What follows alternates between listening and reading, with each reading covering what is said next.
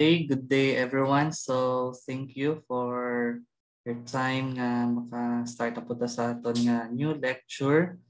So in continuation sa mga previous pages na kon nga na-perform last year, I will be continuing some topics regarding basic animal anatomy and physiology. So this is in line with your topic sa aton nga subject, Introduction to Animal Science, and I will be your instructor, instructor sa sining uh, school year or sa sining semester.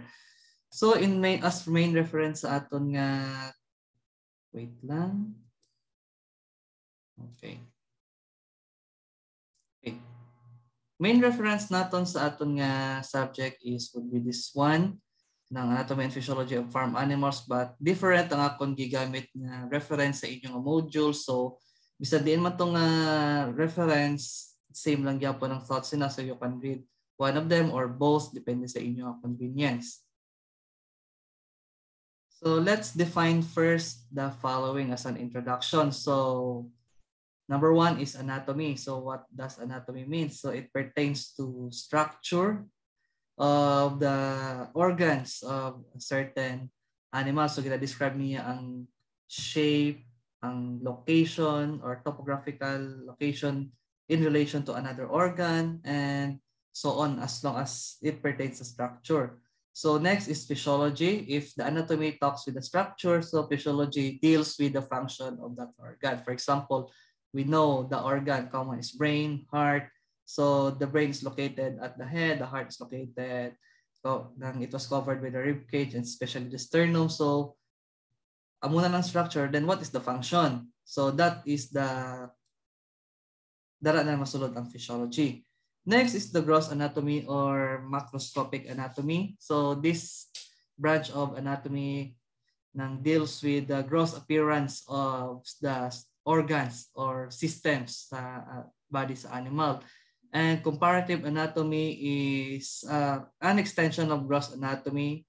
Nga, nga na makahambal mo extension, it's because nga, for example, we will discuss the anatomy of the dog sa gross anatomy. So in comparative anatomy, that organ sa ido, i-compare naton sa other farm animals. For example, ang itsura sang kidney sang dog is different from the kidney of the cattle. And also different man siya sa horse. So gina-compare nimo ang structure sang isa ka organ and that that is the concept of comparative anatomy.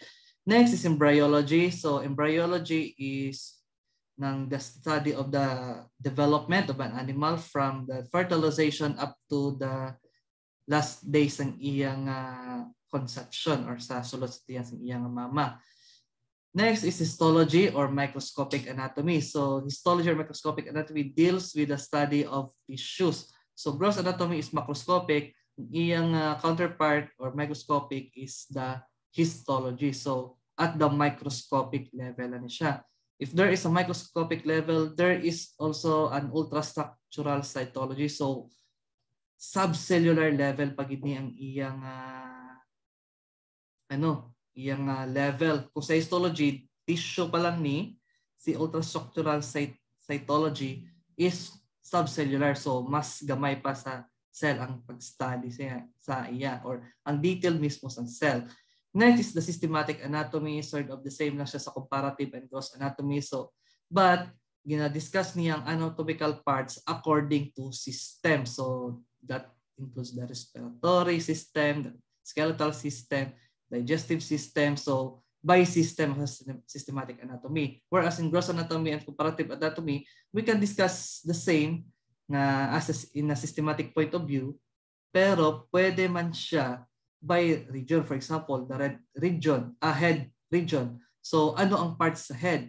Ano ang mga organs dira? This regardless of the system. Basta kung ano lang makita mo. So amo na siya ang kinalain sa systematic anatomy sa topographical anatomy.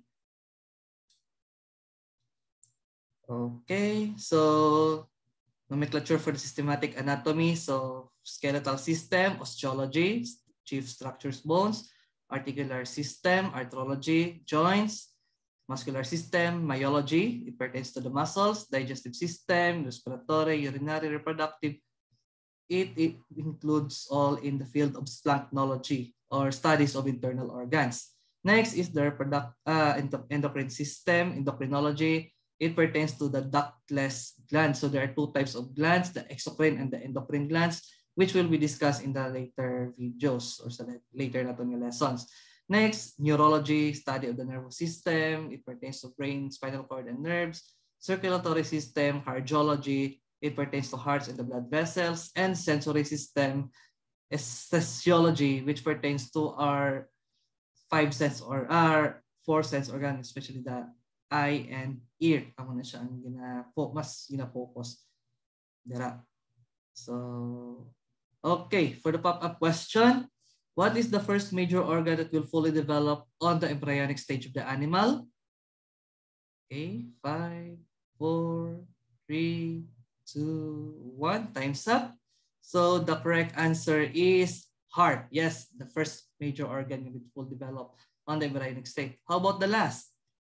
Okay, five, four, three, two, one. So that's it. The correct answer is lungs. So take note, first major organ, heart, and last major organ that will fully develop on the embryonic stage is lungs. That is why nga once ipanganak ang animal or bisan sa human gani, ang first na gina-stimulate sa obstetrician or the pediatrician kung sa tao, veterinarians for the for the animal counterparts is ang respiration mismo sa animal. It's because nag amo na siyang last organ nga gaka develop so amo gina ang gina stimulate kay amo na siya ang paunahon dayon response. So that's it.